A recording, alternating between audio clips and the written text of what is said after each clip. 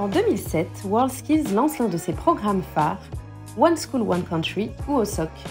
Son objectif? Encourager la découverte des métiers et les échanges culturels entre les compétiteurs et les élèves des écoles de la ville haute de la compétition mondiale. OSOC à WorldSkills 2024, c'est 52 écoles, plus de 6000 élèves et 1400 compétiteurs de 70 délégations. Donc, euh, je m'appelle Manon Bélier, je suis coordinatrice de programme euh, pour le programme One School One Country. Donc, euh, je suis chargée du suivi des écoles. donc, on programme un petit peu tout ce qui va se passer au cours de l'année et puis, du coup, pour la journée d'accueil. Donc, le programme OSOC, ça veut dire One School One Country, c'est un programme de jumelage. Donc, on jumelle une école et un pays une délégation de pays qui va venir à la compétition. Donc euh, l'objectif c'est de faire rencontrer ces élèves et les compétiteurs euh, la veille de la compétition. Donc c'est une matinée où euh, toute l'équipe va venir rencontrer des élèves et donc les, enseignants qui ont préparé ça au cours de l'année avec nous et les délégations. Ils vont faire des jeux et le but c'est vraiment de découvrir les métiers de la compétition mais aussi la culture du pays qui vient parce que on a plus de 70 pays qui vont venir rencontrer ces élèves. Euh, c'est des cultures assez différentes. Euh, il y, a des petits pays euh, parfois que les, élèves ne connaissent pas du tout. Donc c'est l'intérêt du programme. Et puis en plus, les compétiteurs sont des jeunes, souvent ils ont moins de 23 ans. Ils ne sont pas si loin de ces collégiens ou de ces lycéens qui cherchent une orientation. Et ça aussi, le but, c'est de les inspirer, c'est de, montrer à ces élèves, euh, parfois dans nos sites prioritaires, c'est des, collèges qui sont en REP. C'est des zones prioritaires où les, enfants ne font pas forcément des études très longues et euh, on va les aider à s'orienter vers le professionnel en leur montrant des exemples inspirants de ces compétiteurs euh, qui essaient de gagner un championnat du monde dans leur catégorie, 62 métiers. c'est beaucoup de possibilités d'orientation. Je pense que WorldSkills, c'est vraiment le modèle, c'est l'excellence des, filières professionnelles qui, en France, sont parfois assez dévalorisées. Et donc, l'avantage du programme OSOC, c'est de montrer que cette compétition WorldSkills, elle a un sens pour les jeunes euh, qui font partie du programme et plus globalement pour tous les visiteurs scolaires euh, qui vont venir voir cette compétition. Du coup, il y a 52 écoles qui font partie du programme OSOC et, euh, et là, on est encore en train de faire des mises à jour, mais il y a 70 pays qui vont venir rencontrer ces écoles. Du coup, il y a quelques groupements, donc c'est des délégations, il y avait très peu de compétiteurs qui sont regroupés pour aller tous euh, à deux ou trois équipes dans une école.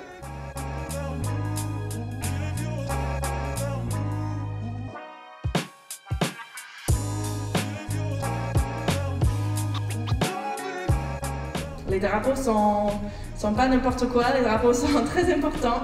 Euh, il y a beaucoup de signification derrière chaque drapeau, donc il faut les traiter avec beaucoup de respect. tu vois que ça, ça flotte aussi quand je marche. Je marche pas très vite là et ça flotte, ça, c'est ouvert. Voilà, ça vole, merci, ça vole. Notre aventure au SOC a commencé ici à Lyon le 31 janvier dernier lors de la semaine de préparation à la compétition. Des événements, conférences et réunions y ont été organisés pour avancer dans la préparation de WorldSkills Lyon 2024.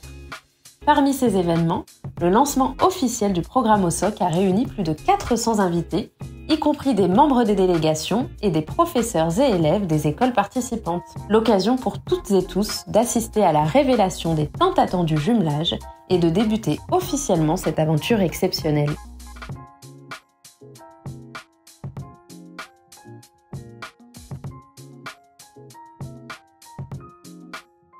Nous avons suivi trois collèges de Lyon et ses alentours, très impliqués dans leurs préparatifs.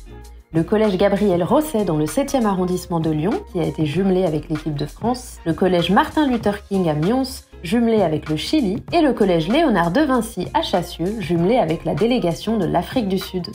Bonjour, je suis Marc Rousseau, je suis délégué technique pour WorldSkills France. C'est moi qui mène l'équipe de France euh, dans sa préparation euh, à la compétition et, pendant évidemment les épreuves euh, de cette compétition mondiale. Le programme One School, One Country, c'est quelque chose de, très important au sein de, de WorldSkills, au sein du mouvement. Ça, amène effectivement cet échange culturel qui est très important. Hein. Ce mouvement international est, là pour ça, mais comme le monde entier est réuni lors de ces événements, eh bien, on, découvre euh, cette richesse, cette diversité euh, du globe à travers ce, programme. C'est des échanges très riches qu'on apporte à ces jeunes pour, leur ouvrir l'esprit tout simplement. Donc c'est très important pour ces jeunes.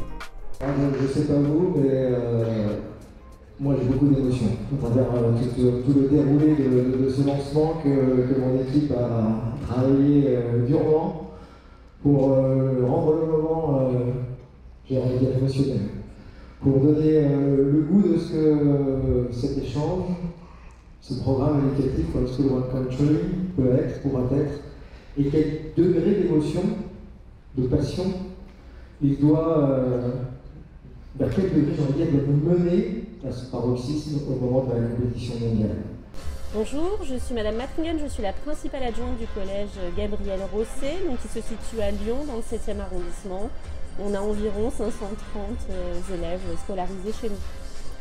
Bonjour, je m'appelle Smaïl Arguillon, je suis professeur au collège Gabriel Rosset et donc du coup je participe euh, au projet OSOC avec euh, Madame la principale. On est un établissement REP, euh, on a entre 6 et 5 classes par niveau en 6e, 5e, 4e et 3e.